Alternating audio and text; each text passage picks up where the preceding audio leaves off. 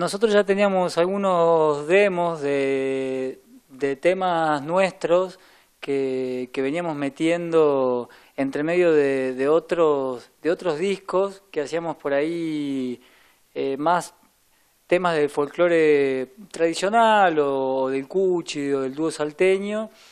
Y bueno, de golpe nos encontramos que teníamos suficiente material como para hacer el disco nuestro. Presentamos un proyecto en, en el Fondo Ciudadano de Desarrollo y bueno, no, nos salió, así que con gran alegría nos pudimos meter en un estudio de grabación, ahí en lo de Fernando Suelza, y después hacer el, el máster, el mastering ahí en lo de Diego Mamani.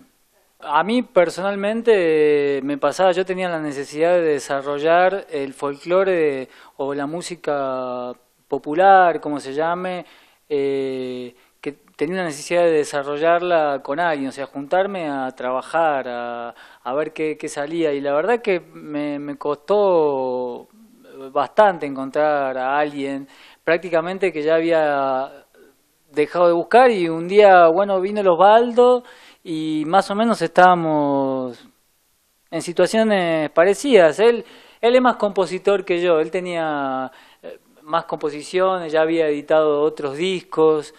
Eh, pero bueno, lo interesante es que los dos estamos predispuestos como para sentarnos a, a, a jugar.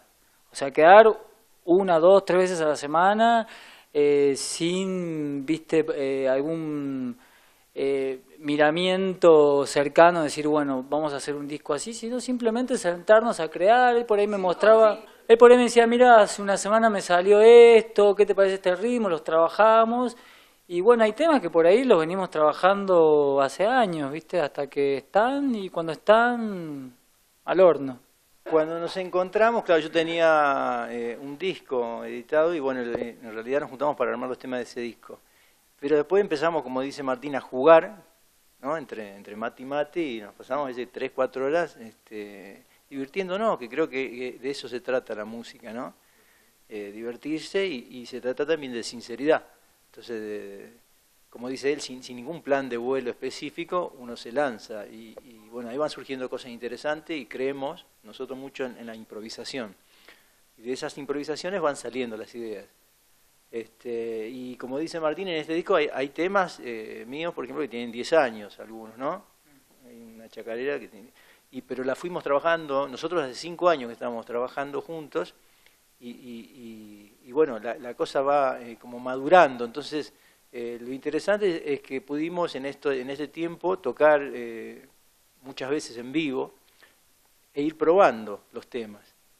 Porque cada presentación en vivo es como, como un riesgo nuevo, ¿no? Entonces uno ahí a veces se anima, por lo menos nosotros no, nos damos esa libertad de, de, improvisar eh, algunas cosas en vivo y de ahí eh, fueron surgiendo los temas que no fue muy difícil, ¿no? Son 10 canciones que están en este disco, eh, 8 propias este, y, y dos versiones.